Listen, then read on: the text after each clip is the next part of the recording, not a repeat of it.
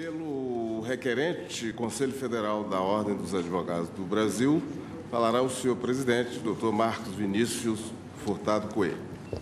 Excelência, tem a palavra. Excelentíssimo presidente do Supremo Tribunal Federal, ministro Joaquim Barbosa, excelentíssimas ministras Carmen Lúcia Antônia e Rosa Weber, excelentíssimos ministros do Supremo Tribunal Federal, excelentíssimo relator, ministro Luiz Fux, excelentíssimo Procurador-Geral da República, que muito dignifica o Ministério Público Federal, colegas advogadas e advogados, senhoras e senhores. O Supremo Tribunal Federal, desde quando criado pela primeira Constituição da República, sempre foi o guardião da Constituição Federal esta atribuição, esta função, esta missão que lhe é otorgada legitimamente pela Carta da República foi reafirmada há 25 anos pela Assembleia Nacional Constituinte. O Supremo, o Supremo Tribunal Federal, quando aprecia uma ação direta de inconstitucionalidade, portanto, exerce a sua missão de efetuar o controle concentrado de normas, não exorbita de suas funções, não invade tarefas legislativas, mas tão apenas cumpre com seu poder-dever emanado da Constituição da República de verificar a adequação das normas infraconstitucionais à máxima efetividade que se deve atribuir à Constituição da República. A Ordem dos Advogados do Brasil, por seu turno, foi atribuído também o papel de voz constitucional da sociedade civil brasileira, por possuir legitimação universal para a propositura da ação direta de inconstitucionalidade, dentre outros instrumentos processuais de controle concentrado.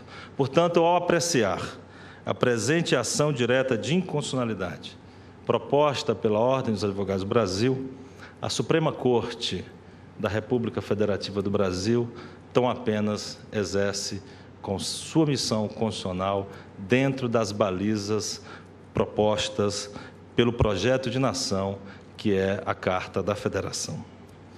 A inconstitucionalidade do investimento empresarial em campanhas eleitorais como também a inconstitucionalidade da participação censitária de pessoas físicas e jurídicas no processo político eleitoral brasileiro são inconstitucionais. E esta inconstitucionalidade, ela é elencada, ela é arguída por cinco fundamentos jurídicos, como não poderia deixar de ser em uma arguição de inconstitucionalidade.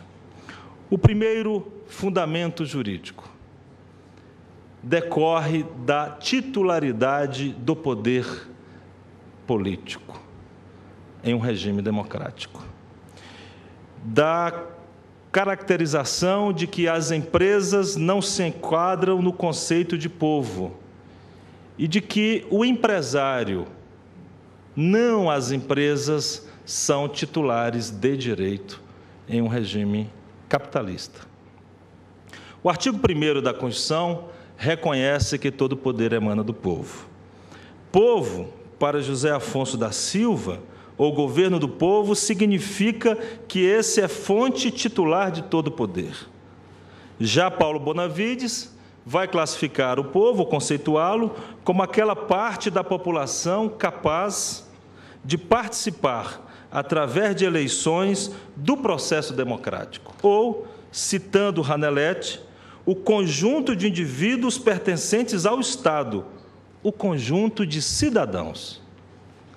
Carvalho de Mendonça, clássico civilista, conceitua a empresa, por seu turno, como a organização técnico-econômica que se propõe a produzir mediante a combinação dos diversos elementos, natureza, trabalho e capital, bens ou serviços destinados à troca ou venda com a esperança de realizar lucros. Carvalho de Mendonça assim o disse em 1945. Modernamente, a empresa é um fato jurídico, uma atividade econômica. Tal atividade é desenvolvida pelo empresário, que, na condição de cidadão, pode participar da vida política nacional. Fábio Lhoa Coelho bem conceitua. Se empresário é o exercente profissional de uma atividade econômica organizada, então a empresa é uma atividade, a de produção ou circulação de bens ou serviços. A empresa, enquanto atividade, não se confunde com o sujeito de direito que a explora, o empresário. As empresas não integram o conceito de povo. Os empresários podem e devem participar da vida política nacional como cidadão, como trabalhador. Nelson Mandela o advogado, Nelson Mandela, o libertador, ainda na primeira metade do século passado, publicou um manifesto quando ainda líder da juventude do Congresso Nacional Sul-Africano, pelo qual bradava por um homem, um voto. É que durante as eleições e nesse período, pelo menos, o negro, o branco, a mulher, o homem, o trabalhador, o empresário deve ter igual participação cidadã na definição dos destinos de um país. É que a democracia pressupõe a igualdade de participação de todos. O voto censitário já se foi há muito no início da nossa República. A participação censitária, de acordo com o poder econômico, deve um dia também ir da, ou sair da vida política nacional. Para Fábio Conde Comparato, de acordo com o expresso no artigo 14 da Constituição Federal, o sufrágio universal e o voto direto e secreto, com valor igual para todos, são atributo da soberania popular, isto é, do conjunto de cidadãos. Ora, as empresas e outras pessoas jurídicas não têm a qualificação política de cidadãs. Logo, não podem, de modo algum, direto ou indireto, influir no processo de votação, quer em eleições, quer em plebiscitos e referendos. O segundo fundamento para a declaração de inconstitucionalidade a legislação que regula o financiamento de campanhas eleitorais institui uma injustificada discriminação. É que a legislação acertadamente proíbe a contribuição financeira de sindicatos, organizações de classe, organizações religiosas, entidades esportivas, quer recebam ou não recursos públicos, quer recebam ou não favores públicos.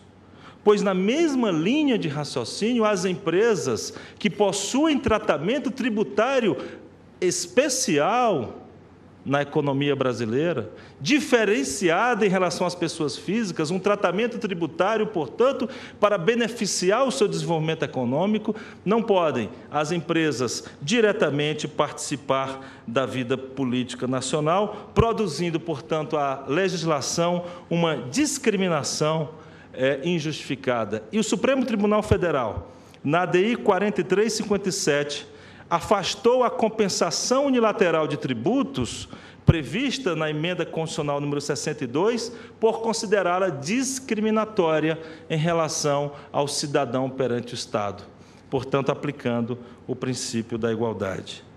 O terceiro fundamento jurídico para a inconstitucionalidade a proteção deficiente da legitimidade das eleições advinda do financiamento por empresas.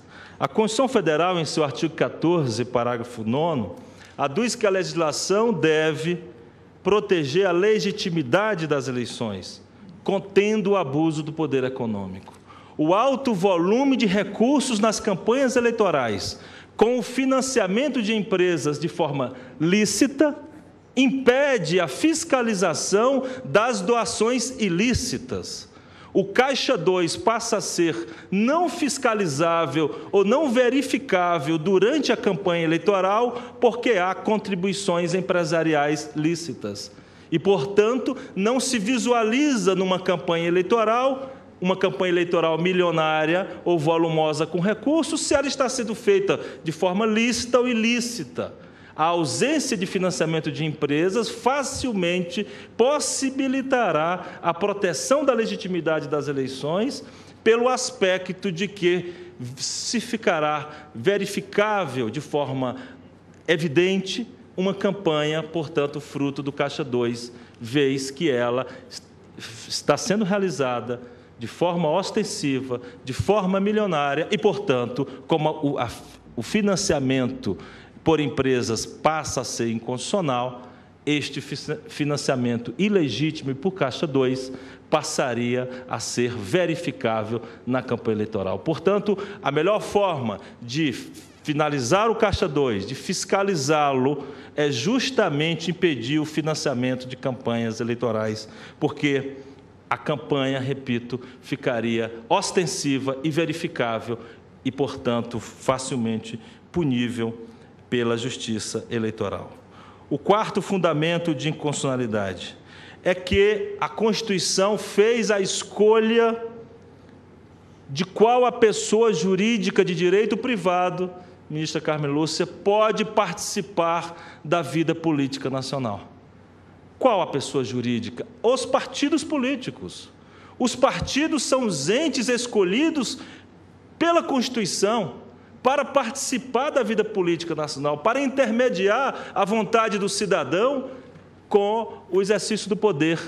Este fundamento foi arguído no brilhante parecer do Ministério Público Federal ao verificar justamente este aspecto da escolha que a Constituição já o fez quanto à pessoa jurídica que deve participar. E chama a colação o magistério de Gomes Canotilho, para quem, acerca das empresas, acerca da contribuição de pessoas coletivas, elas não podem ser membros de partidos e não dispõem de qualquer capacidade eleitoral ativa e passiva aduzindo Canotilho que há bons motivos para proibir subsídios financeiros canalizados por pessoas coletivas, até porque, finaliza Canotilho, quem paga diz a música que deve tocar.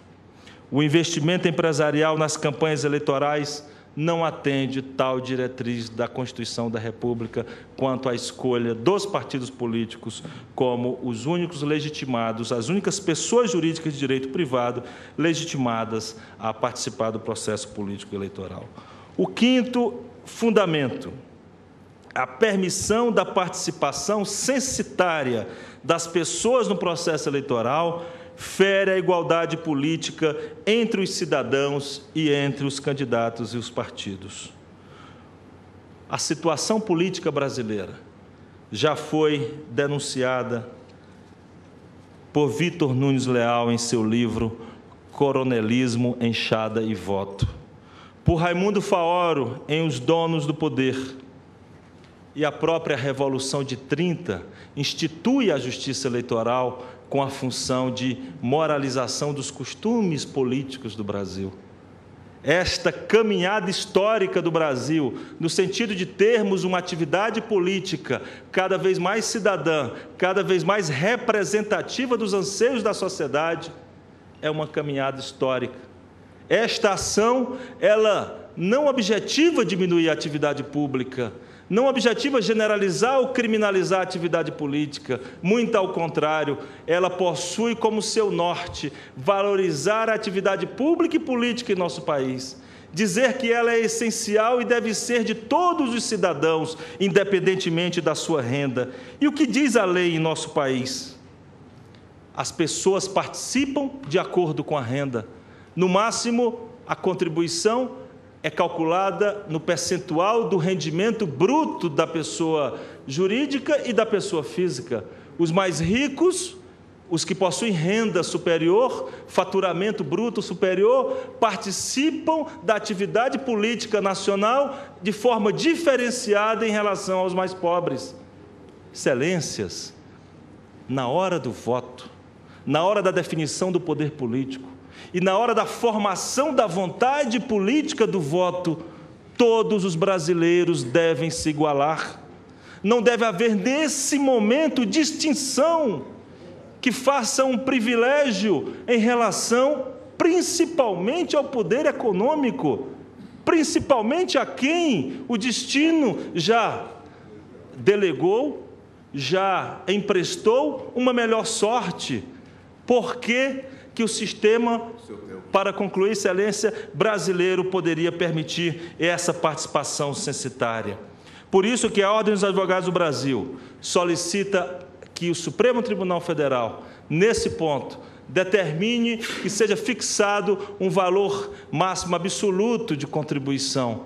Mas a Ordem dos Advogados do Brasil, com a responsabilidade de uma entidade equilibrada, solicita desde a inicial que haja modulação dos efeitos para que o Congresso Nacional seja instado a legislar sobre as lacunas decorrentes das declarações de inconstitucionalidade ora arguidas, para que a Suprema Corte do meu país declare a inconstitucionalidade, mas a legislação positiva seja feita pelo Congresso Nacional. Finalizo, excelentíssimo senhor presidente, novamente citando Nelson Mandela, para quem tudo parece impossível até quando é realizado.